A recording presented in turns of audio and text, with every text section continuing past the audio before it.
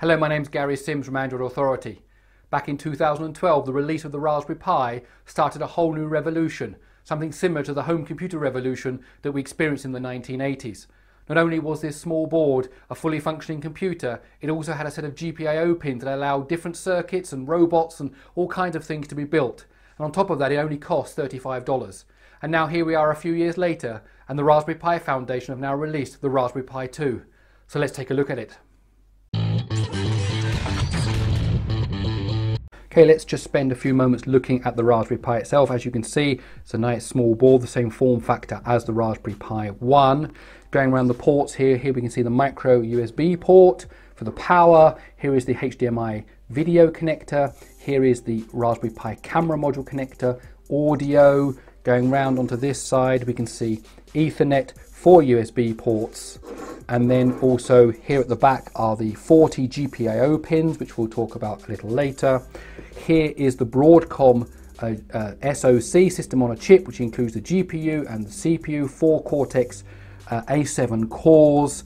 And then when we look around here on the back, we can see the micro USB card. And here is a Raspberry Pi Model B, Raspberry Pi 1 Model B, next to a Raspberry Pi 2 Model B. We can see some of the big difference here. The model, the original Model B only had uh, had less GPIO pins. This one now has 40. There, of course, here was the SD card rather than the micro SD card. Then, of course, the processor is very different. Both Broadcom chips. Broadcom has done an excellent job in making these chips for the Raspberry Pi Foundation. This one was only based on the ARM v6 architecture, single core running at 900 megahertz. This, of course, is based on the ARM v7 architecture, Cortex A7, again also running at 900 megahertz, but it's a quad core. Then other differences you can see uh, is that this one has uh, two USB ports. The Model B Plus had four. This one has four as well. So more power, more memory, micro SD card, more pins, but the same form factor. Like the Raspberry Pi 1, the Pi 2 can run a variety of Linux distributions. The easiest way to install an OS for the Pi is to use the new out-of-the-box software package, or Noobs for short. It boots the Pi and then allows you to pick which operating system you want to install. You can even install multiple operating systems and dual boot via a boot menu. So I've just booted up the uh, new out-of-the-box software distribution that you can download from the Raspberry Pi website. It boots up and gives you a menu that allows you to choose all the different uh, Linux versions that can run on the Raspberry Pi. As you can see, the first one, the first one based on Debian Wheezy is the recommended one, but there's also, for example, OpenELEC for the Raspberry Pi 1 and for the Raspberry Pi 2. There are some other ones here. Most of these only support the Raspberry Pi 1. However, these initial ones here at the top all support the Raspberry Pi 1 and the Raspberry Pi 2. To install it, you just click on it, hit the install button, and after you've confirmed it, it will just start to download it onto the micro SD card. After it's completed, it will boot up into the new operating system. Very simple, very easy to get yourself up and running on the Raspberry Pi 2. Now, one of the big announcements that was made at the time of the launch of the Raspberry Pi 2 was that Microsoft will be releasing a version of Windows 10 for the Raspberry Pi 2. This release of Windows 10 will be free through its Windows Developer Program for IoT. What yet isn't known, however, is what will be included in this free version of Windows 10. It will obviously be a cut down version, but how cut down remains to be seen. There is one major operating system that unfortunately is not supported by the Raspberry Pi 2, and that's Android. The Raspberry Pi 1 didn't support it, and at the moment it doesn't seem like that will change for the Raspberry Pi 2. The Raspberry Pi Foundation doesn't see Android as a priority, and there appears to be some porting difficulty due to some missing drivers from Broadcom. However, of course, this could all change. Just like the Raspberry Pi 1, the Raspberry Pi 2 is supported by OpenELEC. Soon after the Raspberry Pi 2 was announced, the OpenELEC project released a new build which supports the Raspberry Pi 2. Here it is running, booted up on my Raspberry Pi 2. I'm also using a remote control on my Android smartphone that I downloaded from Google Play. And as you can see, it absolutely works absolutely fine. And if we go here down to the system settings, I want to see to show you that the system is running at uh, 1920 by 1080 at a full screen and that's roughly around 30 frames per second it's managing. Okay, to test out the video playback capabilities of the Raspberry Pi 2 using OpenELEC, I've got two video files here. Both are video files that are produced by my video editing software and I, therefore I'm able to control the bit rate. One is at around 4.5 megabits, the other one is at 15 megabits. So let's go ahead and see how they go. We'll go with the slower one first of all, 4.5 megabits. Just give that going.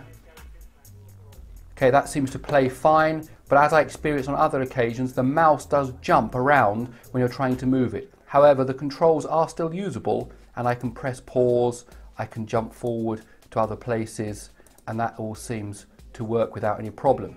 Okay, let's go back and try the other one now at 12, 15, sorry, and a half, 15 uh, megabits per second. Let's start that now.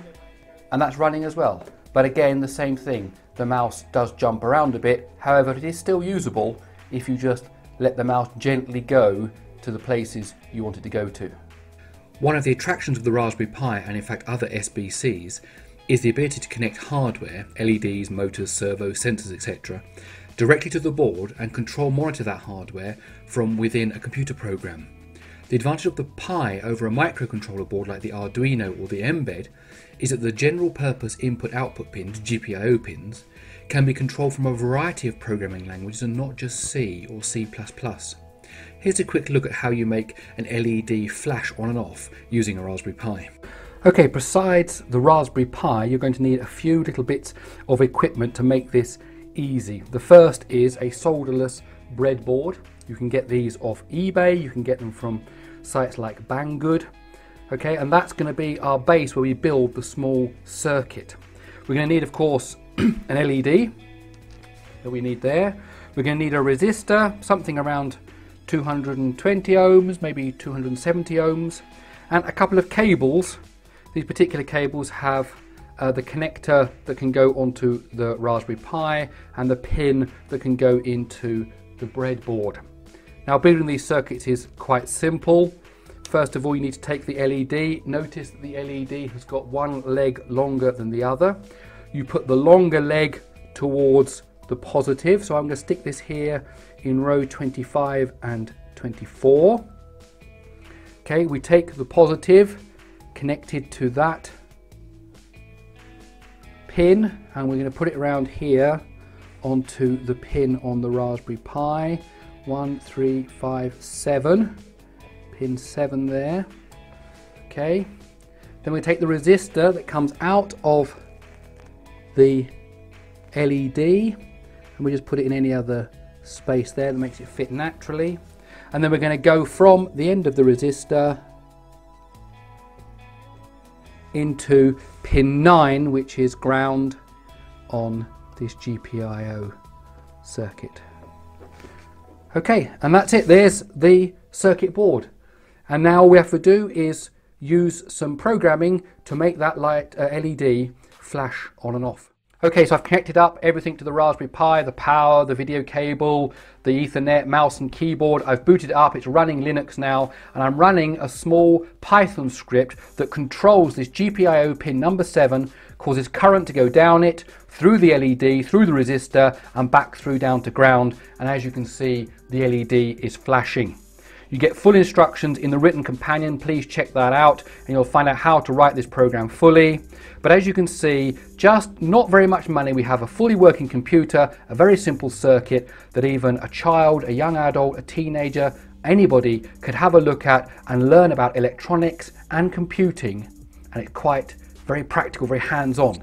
So there it is, the $35 Raspberry Pi 2. Hope you've enjoyed this video. If you have, please give it a thumbs up. Also, don't forget to write some comments below. Tell me what you think about the Raspberry Pi 2. Tell me how you think it compares to other single board computers. Also, don't forget to subscribe to Android Authority's YouTube channel. And also, you can follow me on Google+. And I'll see you in my next video.